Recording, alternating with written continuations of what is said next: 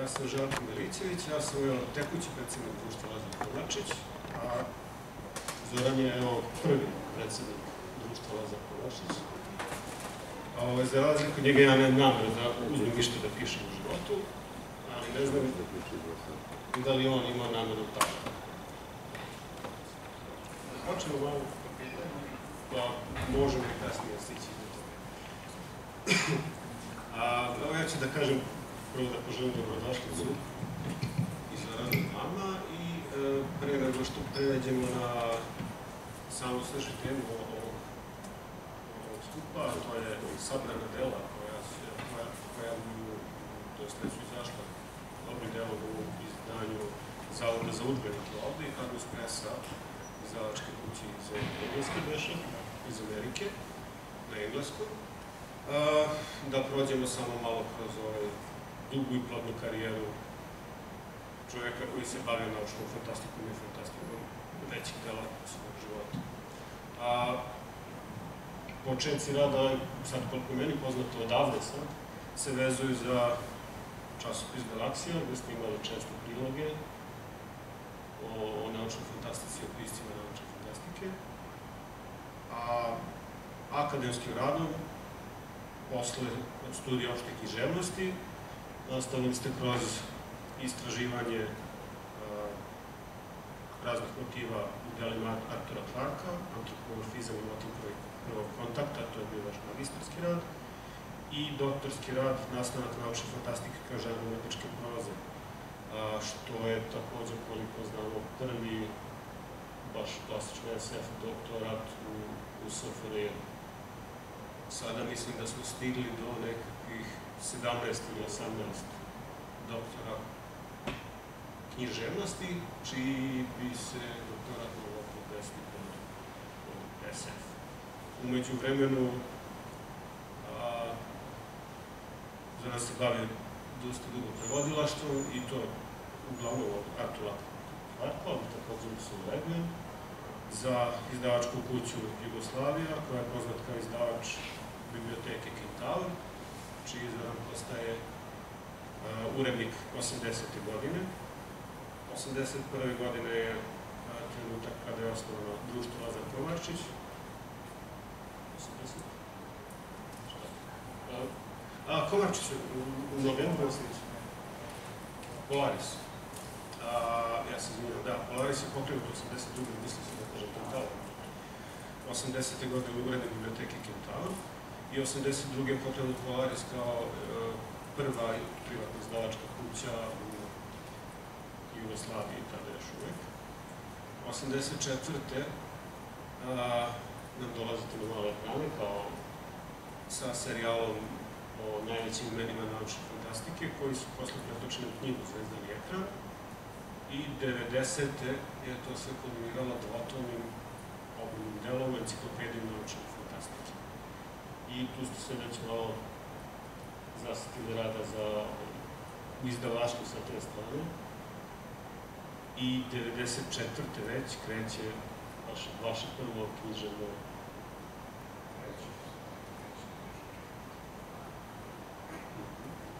A, posle ovoga, ajde samo da, da, da još završimo ovu priču. 2001. ste u odboru uradnika časopisa sajta, kako bismo ga nazvali Fantastic Metropolis gde ste sarađivali sa najvećim imenima fantastike u tom trenutku, od Michael Woolcott, Jeff Vandermeer i ostali. I evo, 20, do 2007. profesor na predmetu kreativno pisanje na Filološkom fakultetu Beogradskog univerziteta. Nedavno penzionisan, ali i dalje se bavi e, kreativnim pisanjem na isto, na isto mesto. A, Malo pored mene isto mesto u Kolarcu sada. Sada je u Kolarcu. Leto, je li letos bila škola kreativnog pisanja?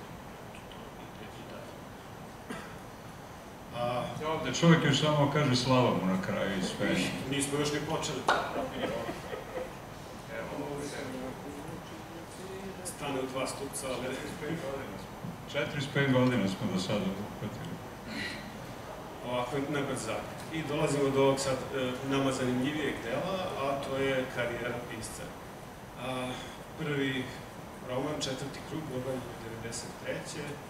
se ne varam u stupu, kasnije u stupu kulture, prvom Polaresu. I ovaj, često se vas citiraju za ovu izjavu da ne može čovjek da postane pisac dok ne napuni 40 godina. E, pa, ako me tako citiraju, pogrešno me citiraju i to nije izjava, nego ono čime ja plašim studente. Naime, ja im na početku kursa dam četiri razloga da pobegnu s kursa, glavno da dođe zašto, da što se javi njih između 50 i 80, ja mogu da kurs primim ne više od 25, ali 30, ako onako baš hoću da stradam. I onda moram celu jednu retoriku da razbijem i razvio sam je da ih odvratim u kurse. Jedan od tih razloga koji na njih uopšte ne deluje jeste da se i tačanje, to je zapravo ništa im ja ne kažem što nije tačno, da se pisac ne postaje pre 50. E sad, ako hoćete da ovo večer pretvorimo za vas desetak ekskluzivnih ili 20, možda koliko sad ima, ja mogu da nastavim u kreativnom pisanju. A to ću da držim na kolarcu do godine Bože zdravlja, pa onda je bolje tamo da počeli smo od, od četvrtog kruga. Ja sam negdje naletao da, da postoji neka kratka priča ili drama iz 79. ali to nije toliko bitno za ovaj opus. Ćemo To se... je jedna drama, ali ja se više, ja mislim da je u Einsteinu nešto radio u Beogradu, svoje vremena mi je tražio, napišem, trebalo je mi brzo da se napiše neka dramatizacija Einsteinovog života, pa to je, to je moje. I čak se dobro sećamo, to više i nema uopšte, kao ni ovo Einsteinu. Neka drama za neko lutkarsko pozorište iz Niša, to čak se naslova. Četvrti krug se pojavio 93. i imao je, ajde da kažem, dosta uspeha koliko u tome što je dobio odmah nagradu Miloš Crnjanski, koja se dodeljuje za najbolje prvo delo. I pokazala je odmah, dobro su ocenili, mislim, te godine, da je Pa delili smo i Gatelice, ja nije samo četvrti, dobila je neka njegova knjiga, ovo to je pre bio jedan incident nego pravio.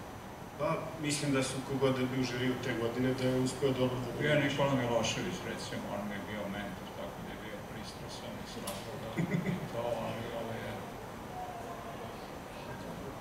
A, četvrti krug je a, nekako se nastavlja na ova vaša prethodna pisanja, u smislu da je jedan od tih krugova tu se jako oslanja na Clarka sa tom veštačkom inteligencijom, satelitima i tom nekakvom ajde da kažem uslovno tv- tvrdom naučnom fantastikom, ali ostali krugovi i, i način na koji se taj krug završio, pokazao je odmah otkren od, od, od, od žanra, tako je. A, ostali krugovi pokazuju dalje fantastiku, ali e, metafizičku, eumiričku, religijsku, zavisno od toga u kakvom su miljeu pojedinačni likovi, da bi se to kasnijim delima eto, nastavilo.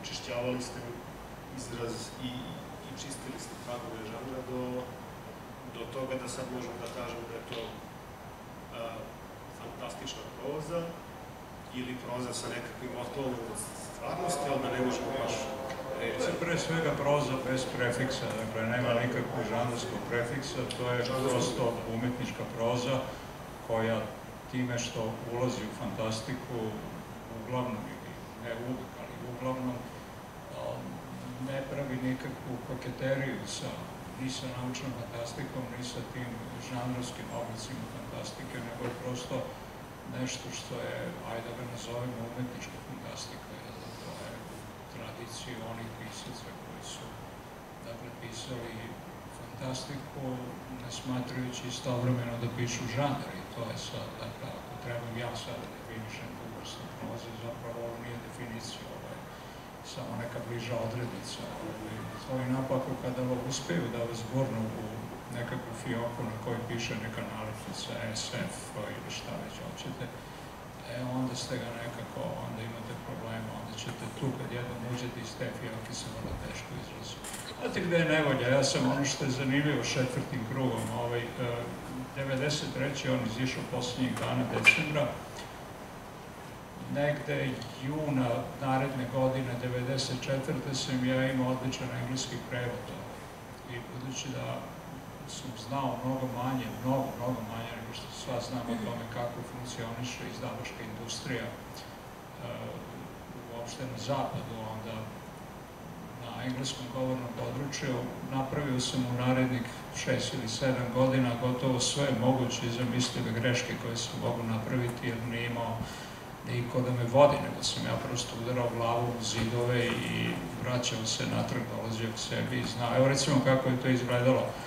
Ja sam u svojoj beskrnoj prostodušnosti, kad je taj prevod bio gotov, to umnožio u deset primjeraka, zapakovao vrlo onako ovaj, maltene sa u roze koverte da ostavim utisak i poslao na adresu deset izdavačkih kuća u Americi, od Harpera do ovih manjih nekih i e, sa devet tih adresa mi se vrlo brzo, za tri nedelje, vratilo na otpakovano, samo su ga stavili jedan veći povere, tako da nisu ni otvarali.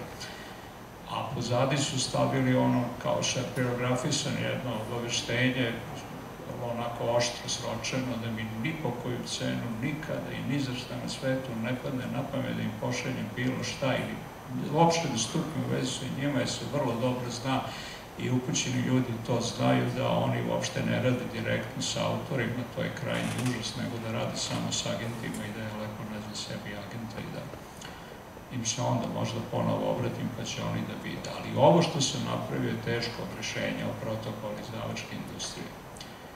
Onda je krenula cela priča, dakle kad sam to doznao, ja sam sad umesto izdavača krenuo da tražim agent Pa sam našao jednog i to je vrlo zanimljivo bilo, on je čovjek, njemu se četvrti gril, ceo trik je da vi dobijete njih, danas je to još doći negde na kraju tamo da vidite kakva je situacija danas. Ali u ono vreme je bilo recimo malo mekše nego danas, tako da sam srazvorno brzo našao agente, ono što je danas veoma teško, ako je bio spreman to da pročita pre svega. Pročite on to i njemu se dopalo i već je bilo sve dogovoreno da on krene u akciju, da proba da mi nađe izdavača, ali onda je zapelo oko mog imena. Ovaj, on kaže da uopšte ne može da zamisli čovek da neko ko se zove Zoran Živković može išta da obije u Americi. Kaže, to pre svega niko ne može da izgovori. Ako ne mogu da izgovore, neće jedan čitaju. I sad, dobro, pitam ga šta ti predlažiš. Kaže, da nađemo mi neko englesko. Ali ime na engleskom, jel da? Velim šta bi se to moglo da Paja recimo. Ne, kaže on, razmisli čovjek dobro i kaže Donald Livingston, to ja pitao me šta znači, kakva je etimologija imena Zoran Živković, pa sam mu ja rekao Zoran od Zora, jel da Živković ne žive, onda on smislio da bi idealno bilo da se ja zovem Donald Livingston. E, onda sam se ja na to užasno i rekao da neću i mi smo se razišli. I kad su počele da izlaze moje knjige tamo, ja sam mu poslao to i on se čovjek onda posijao pepelom da, se mi nismo razumeli da zapravo sad sve najbolje misli o mom imenu. Egzotika. Mislim da im tad nije trebalo. Da, kad je na kraju, kad je na kraju izišla, to je bila drama u nekoliko. Kad je moja prva knjiga koja je izišla u Americi su vremenski darovi, oni su, to je bilo dramatično vreme, dakle 99. april, padaju bombe na Beograd, meni je jedan američki zavačit ozbiljan, Northwestern University Press, dakle to je prva liga tamo. Imate komercijalni izdavače, tu je veliki novac i to, i imate recimo ozbiljni izdavače koji nisu komercijalni, to je najčešće University Presses, tako je bilo, oni su imali, imaju danas dakle, izdavačku delatnost, gde onda prolaze pisci koji, od koji se ne očekuje da budu komercijalni. Dakle, sklonjeni ste od tog, tog malja koji se zove tržište, nego idete na to, oni tamo su dotirani izdavači, imaju subvencije i onda te subvencije im omogućavaju da objavljuju ono što nije komercijalno. 22. april meni stiže od njih ovaj, uh, I to onim vrlo kratko bilo vreme tog dana kad je bilo struje, nije bilo struje, na tomu kad su nas prekidali struje. I stigne mi taj mail da oni pitaju da li bi ja hteo da im dam pravo, oni hoće da objave to. I sad je jedno od najtežih, kako da vam kažem, nedoumica koje sam se našao u životu. sve ono, onaj, onaj bes, ono, ona, frustracija koju smo svi osjećali tada, naročito ovi koji su tada bili živi, ovi koji su ovaj mlađi svet koji tome uči kao lekciju iz istorije, oni to ne znaju kako je, ali ovaj, oni koji su to doživjeli ovaj, znaju kako je bio bes i frustracija i najradije bih poslao, hajde da ne kažem šta ide, ali recimo tako nešto. Taj ceo onaj ljubivi deo mene se pobunio. A onda mi je sinulo, onda sam počeo da pribranije malo razmišljam, dakle, da sam shvatio da se te ljudi izlažu zapravo podjednako velikoj neprilici pred kojoj onda i mene dovodi da smo zapravo u istom čancu. Ako oni, pa i oni znaju da je ovde bombardovanje u toga. I sada mi oni preko tog bombardovanja pružaju ruku. Kažu, znamo kako je, evo, na ovaj način ti se iskupljaju, recimo, zone koji tu naše ime bombarduju, evo ti ruku. Nemam pravo da odbijem tu ruku. Nisam je odbio.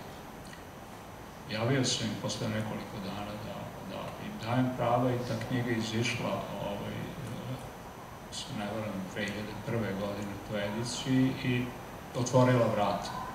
Vidite kako je tamo, da biste objavili uopšte u Americi, to će vas možda zanimati više mnogo nego ove, jedna genealogija mojih knjiga. Naime, da biste objavili u Americi, vi morate, evo, to je sad ovom filmu, ne znam koliko je od vas gledalo, odličan ovaj dokumentarac o Ursula Queen vi morate, dakle, ili da, e, i to zapravo ovo su osobine reči, ili da imate ime, ili da ulazite u neku fioku.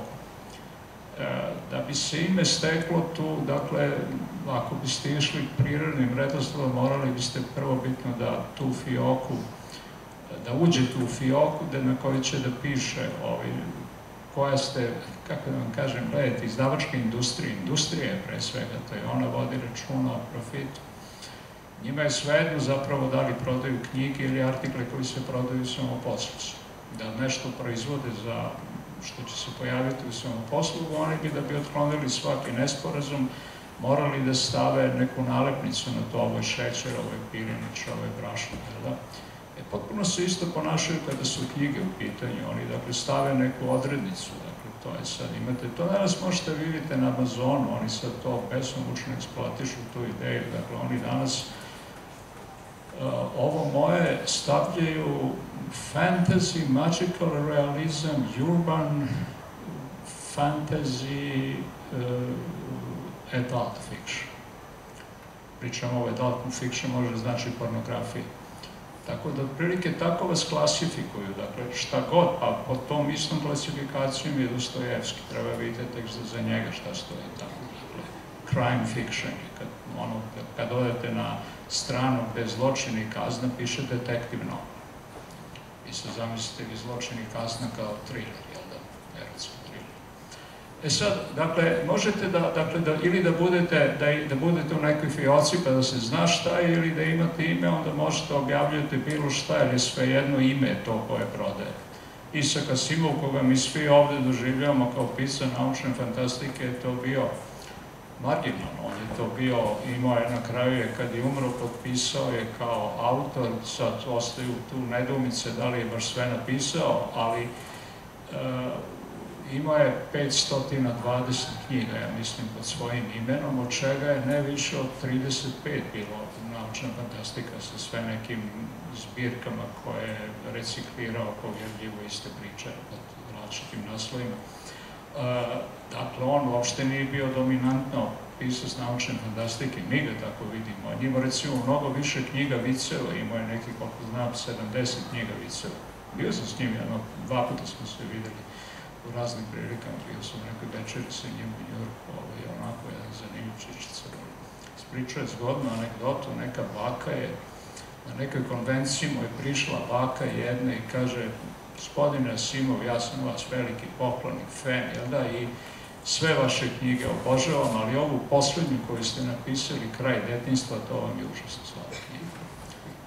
I Asimov ovako netrebuše bio, imao je ovaj Vispren bio, imao, imao učerenciju, kaže, potpunost u pravu, to mi je daleko najgora knjiga i odriče me se, evo, i nemojte nikom preporučivati, pri čemu, naravno, Kraj detinstva nije uopšte njegova knjiga, baka je pobrkala, nego Clarkova njemu sad ispalo dobro E, dakle, ako imate ime, ako ste ime, jel da, Simon, onda je to ime koje prodaje to i onda možete sve da objavite, ali ime, ime koje ime zaštiti zna kao Coca-Cola, prodaje sasvim je sve, što je onoj bočici ako piše Coca-Cola, svi će da...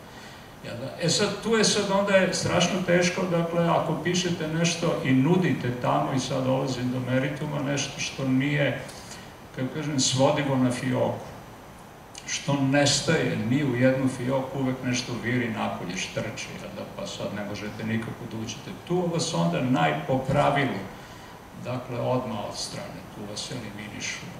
I, i to je e, ono što je najčešće prva, ta glavna velika prepreka. Ili prihvatite da pišete, dakle, nešto što je za fioku najčešće žandar, ali onda se javljaju drugi problemi, ovi koji su na to išli da pišu, oni su uglavnom bili epigoni onoga što američki i engleski autori već proizvode, pa je onda izdavačima to izgledalo kao puko epigonstvo. Što bi sad oni kupovali neku varijantu koja dolazi negde iz nekog mračnog kutka Evrope, a već imaju svoje pisce tamo koji, koji to isto pišu jada, i objavljaju. I onda imate jednu vrstu začaranog kruga. Dakle, i sad sam ja zapravo ovom knjigom vremenski darovi koja je otišla kod Northwestern University Pressa ušao na mala vrata. Dakle, ja sam izdavačku industriju zaobišao, što je inače vrlo teško, i mene je sad objavio tamo i počeli su da izlaze prikazi, što je vrlo bitno u stvari, da, da, da vas vide tamo. I to ne prikazi po žanrovskim časopisima, nego po mainstream časopisima, ja sam celu ediciju, celo to izdavaštvo je Dakle, to University Presses je pod lupom tih velikih ovaj, e, prikazivača, dakle, od New York Times Book Review-a. Znate kako izgleda tu u Americi, da biste znali prosto, ovaj, e, ako, ako dođete u tu priliku ili nepriliku, napisali ste nešto pa sad idete tamo, da prosto znate u koju vrstu konkurencije ulazite. Ovi podaci koji ću vam sad ja reći su negdje iz 2012. E, nije se situacija mnogo promenila. U Americi dnevno izlazi oko 400 novih knjiga. To je negde uh, oko 150-161 knjiga godišnje. Uh, I svi oni imaju veliku ambiciju, nadmeću se i takmiče i to je onako vrlo surova borba, klinč jedan, jel da, da dobiju to neko mesto, e, da im se prikaže knjiga u tim e, velikim glasilima u Washington Postu, New York Times Book Review i dakle, to je, to je vrsti izdanja i tu je onda, a ovi mogu da prikažu daleko, daleko manje. E sada vi ste te 2012. godine, je, evo da biste znali kako, oni su sa svih jezika sveta, I ni pošto samo književnost, nego sve ono što izlazi u obliku knjige, objavili su uh, oko 160 izdanja. Pa ste 160 u odnosu na 160.001 promil. Dakle, vi ne možete tamo kad uđete, sem ako baš ste uporni, tragate sad, Amazon je to promenio, ali u ono vreme uđete u knjižaru neku u Njujorku, Barnes Noble recimo, i sad krenete da tragate tamo za nekom stranom knjigom, to je čudo kad je nađete. Nema. Oni su hermetički zatvorili to tržište ili gotovo hermetički zatvorili za dolaske, jer to im je konkurencija. Isto je pa kao sa filmovima, dakle vi sad gotovo da ne možete vidite evropski, pogotovo ne evropski umetnički film u Americi, jer prosto ga ne govore engleski Dakle, deset, deset minuta govorim, pozdravim sam, šta treba da reći. Recimo, to je problem sa filmom u Suvi Ledin, nemaju titla, jer zavodno film na engleskom, što bi ikome treba titla. Pa dobro su ovo, kako da vam kažem, da, da živimo 100 godina ranije, to bi nam to bi isto radili francuzi, ili francuski da. bi onda lingua franca. To je neprijatno ako ne govorite engleski, ali sa tim se saživite ali tržište je zatvoreno, dakle, gotovo da ne možete prodreti tamo. Ovo što se meni dogodilo je, kako da kažem, veoma netipično, nekakav prirodan put je obrnut da vi sad postanete, recimo, pročujete se u svojoj zemlji prvo, pa onda recimo u regionu, pa onda na kontinentu, pa tek onda tamo, dakle na engleskom govornom području, a ja sam išao obrnuto, ja sam prvo tamo napravio nešto, pa onda je ovaj, došla Evropa, pa je onda došao region i ko zna ako budem dugovečan još, evo upravo sam napunio 70, ako dogoram do 90. možda i ovde napravim nešto. Evo, što sada nešto uradimo, daju mi znake da stane. Da, evo 10 minuta.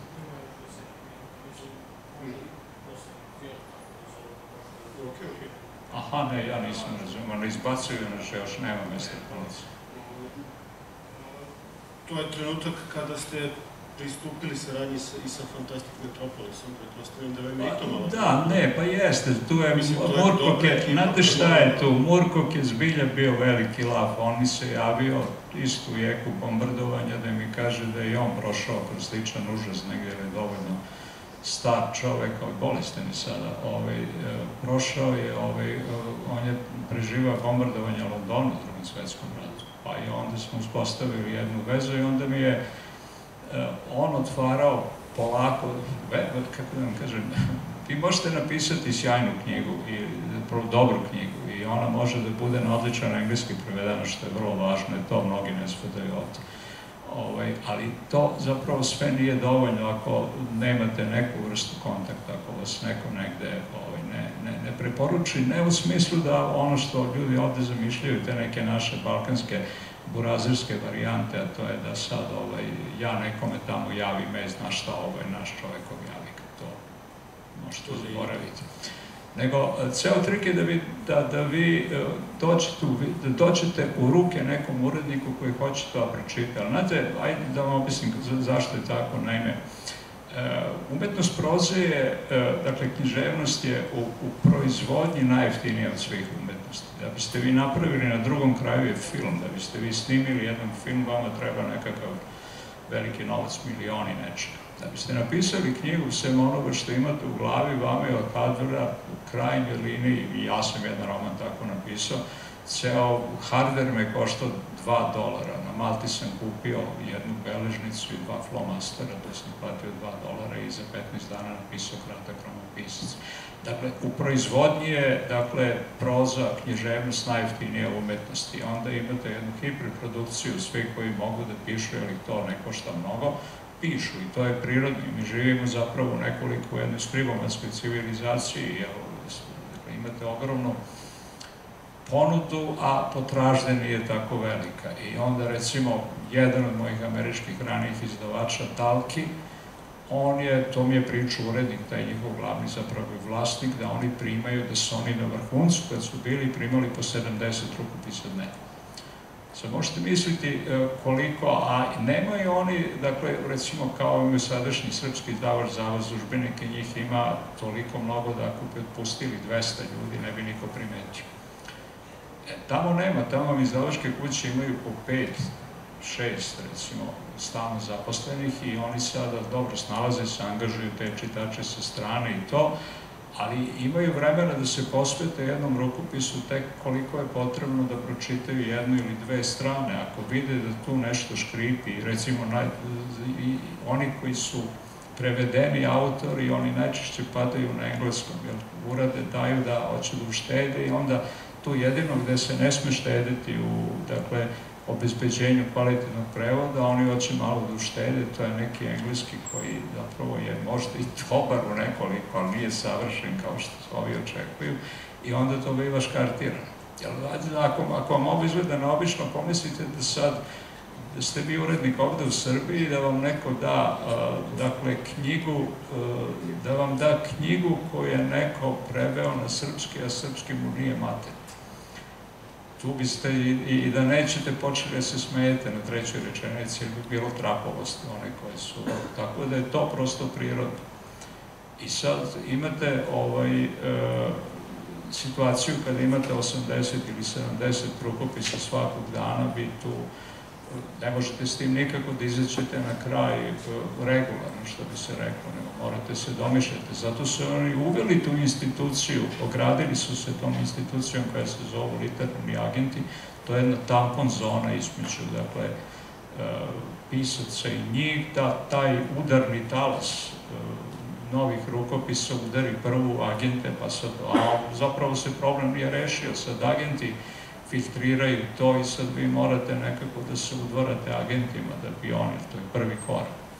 Ali to su pravili igre, tako je, do jedne tačke dok ne... Ali ceo trik je, zato sam to i pričao, sve da vam objasnio, ono da je zapravo e, najveće, najveći dobitak kao da dobijete onako na lotu, ali ne baš glavnu, pre, ne sedmicu, nego šesticu, to je kad vaš rukopis dođe u ruke uredniku i on hoće da posveti tome recimo dva dana da to pročita. I to je premija. Jer onda možete računati na sebe, onda to što ste eventualno dobar pisac dolazi do izražaja. A ovako ne, ovako vi udarite u taj zid i oni to pročitaju.